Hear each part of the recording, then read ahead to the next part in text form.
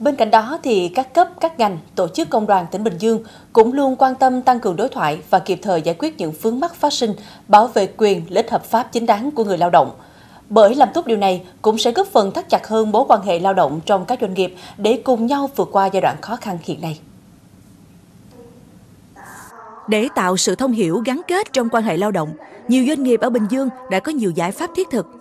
Cùng với nỗ lực ổn định việc làm, người sử dụng lao động, công đoàn cơ sở thường xuyên gặp gỡ đối thoại với người lao động để thông tin tình hình, nắm bắt tâm tư của công nhân, từ đó tìm hướng tháo gỡ khó khăn phù hợp trên cơ sở hài hòa lợi ích giữa các bên liên quan. Công đoàn cơ sở có là tham mưu với ban giám đốc là mỗi tháng mỗi tháng sẽ tổ chức à, họp họp giữa công đoàn cơ sở, giữa ban giám đốc cũng như là công nhân. Không phải là toàn thể công nhân. Mình có thể là chọn à, một số công nhân à, tiêu biểu ở dưới xưởng, những công nhân nào mà có những cái ý kiến đóng góp. Và à, bên trong lúc đó thì giữa công ty sẽ nói về những cái tình hình hoạt động sản xuất kinh doanh cho công nhân mình biết. Rồi công công nhân cũng sẽ nói về những cái khó khăn của họ. Và có bên công đoàn nữa thì ba bên sẽ họp lại với nhau và đưa ra cái phương hướng, cái cái giải quyết tốt nhất, cái cách tốt nhất để giải quyết vấn đề trong bối cảnh hoạt động sản xuất kinh doanh của doanh nghiệp vẫn còn muôn vàng khó khăn, ngành lao động thương binh và xã hội, các cấp công đoàn tỉnh xác định nhiệm vụ giữ vững ổn định quan hệ lao động tại các doanh nghiệp là then chốt.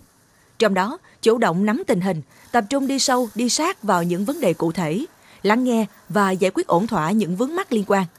Qua đó, ngăn ngừa, hạn chế tối đa các vụ việc tranh chấp lao động tập thể xảy ra. Chúng tôi có các ờ, đội ngũ cộng tác viên, cán bộ nòng cốt để nắm bắt dư luận tại các doanh nghiệp để làm sao phát huy được cái việc ờ, nắm bắt cái thông tin dư luận kịp thời để kịp thời từ đó công đoàn phối hợp với các ngành chức năng để kịp thời đến giải quyết cái ờ, mối quan hệ lao động cho làm sao cho nó hài hòa giữa doanh nghiệp, chủ doanh nghiệp và người lao động. Phòng